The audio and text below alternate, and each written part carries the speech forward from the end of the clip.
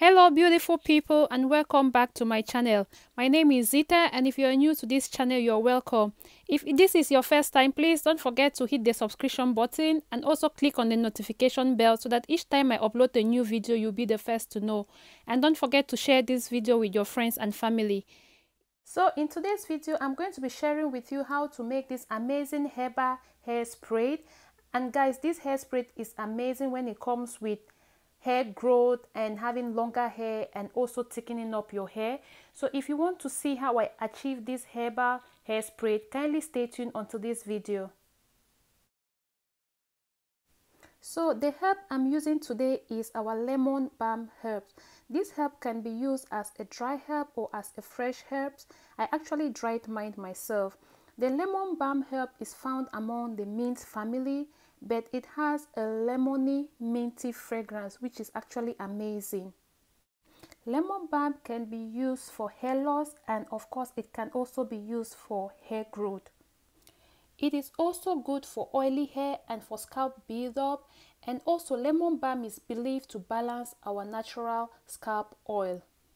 Next is fenugreek. Fenugreek is a rich source of iron and protein which are essential nutrients for hair also, the protein in fenugreek aid in repairing damaged and dry hair.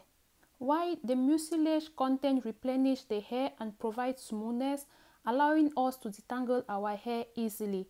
This also helps to restore luster. So in order to make this herbal tea rinse, we'll be needing a mason jar. In this mason jar, all you have to do is to transfer the handful of your lemongrass and as I said before, if you have fresh lemongrass, that is still okay. Once I have the lemongrass in my mason jar, I'll go ahead and add my fenugreek seed. In the kettle, I have uh, boiling water, so I'll also be adding one and a half cup of water. You can add less water, it just depends the quantity of a tea rinse you are making. So for this particular day I used one and a half cup.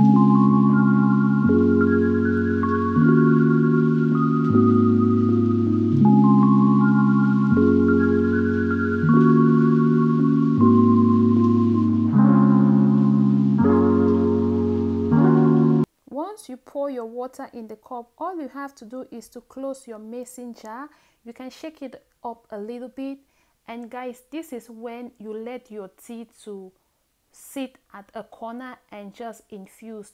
If you are in a hurry or advise you let this tea spread stay for at least 8 hours but usually I like to make mine to be overnight and it can be between 20 to 24 hours. I really like to let it sit for 24 hours so that it really infuses or I get all the nutrients from the lemon balm and also the the fenugreek. So in between that i can just shake it up a little bit just to help the process again but that is it. And so this is after 24 hours and you can see our water even have changed color and the fenugreek has really swollen up. So what you'll be needing now is any jar you have at home and of course any cheesecloth you have but usually i just go ahead and i use my wig cap I have a wig cap purposely meant for my DIYs and I wash them each time I am done. So you just pass it through the wig cap and that's because you don't want to get any fenugreek or any leaves inside your tea. So this is one advice I'll be giving. If you end up making a lot of tea than you think you will use, I go ahead and I put some in my ice cube, uh, the ice cube thing you can place in the freezer. Then I freeze some then I let it sit in the freezer. And if it's in the freezer it can stay for about three months.